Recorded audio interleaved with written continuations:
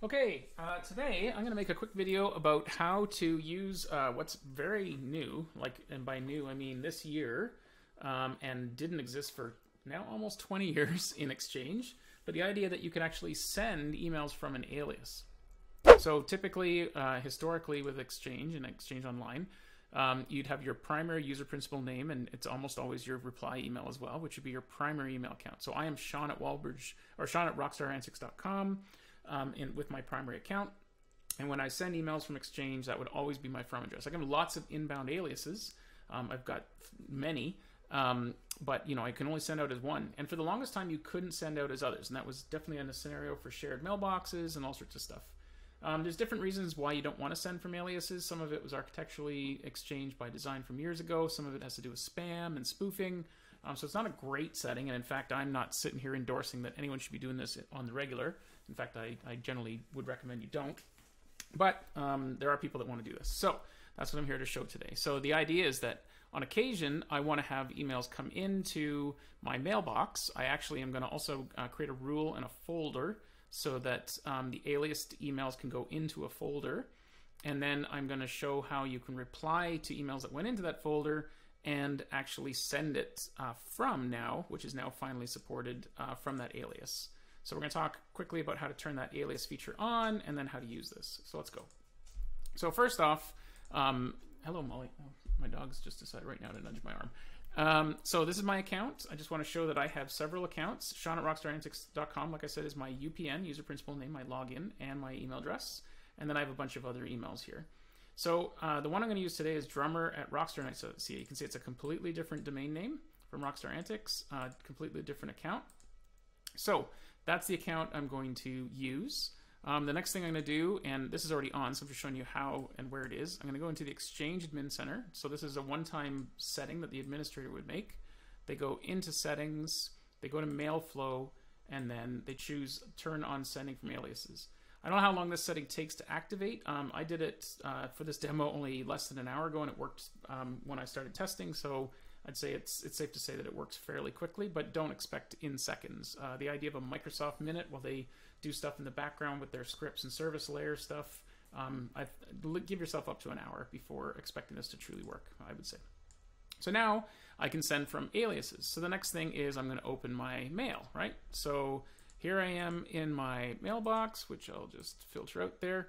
So um, I want to set a rule. I want to create a folder um, because I want mails that come into drummer at rockstarnights.ca to go to a certain place. So going to just call this uh, drummer emails. Okay, so I've got my folder. So next up, I'm going to create a rule. Now you can do rules in your traditional Outlook client. I'm not here to endorse that because I don't think anyone should be using it at all anymore. It's a fool's errand, but uh, trust that you can make rules in the Outlook client as well. And I, I am not going to show how to make a rule there. just out of principle. Um, so these are going to be drummer emails. Uh, the condition is uh, messages to drummer at rockstarnights.ca. So that's where I want them to go, or that's what I'm looking for is emails that go to that address, so not just to me. And then I want to move them to that drummer emails folder. So I'll save that.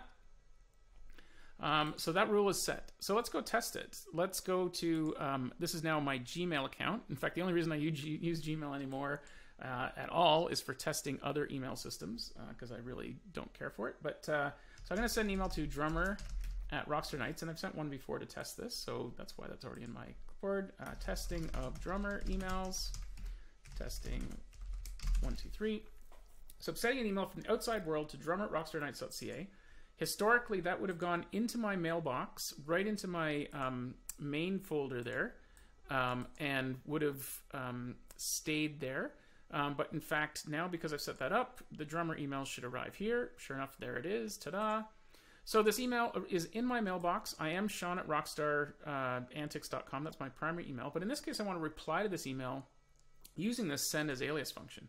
So what I'm going to do is go to reply.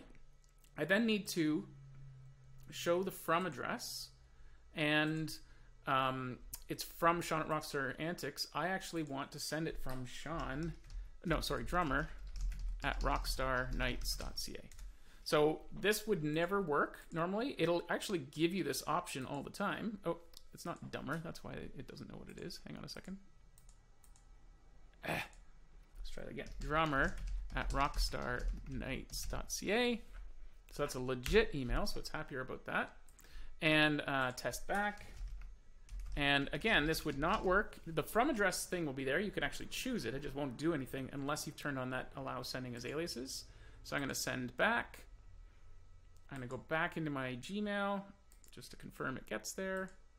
And sure enough, there it is. And it actually came from drummer at. Without that alias thing, without doing that from address thing, it would have still said, hey, it's from Sean at rockstarantics.com. So uh, hopefully that helps someone. Um, this this tip will probably uh, help a lot of people. This is a fairly new function. People have been asking for a long time. I don't think it's a solution to everything. Um, in fact, I would strongly suggest uh, against using it too often. Um, it's not. It's meant to cure a couple of scenarios, not all thing, not all ills. So with that, have a great day. See you. Bye.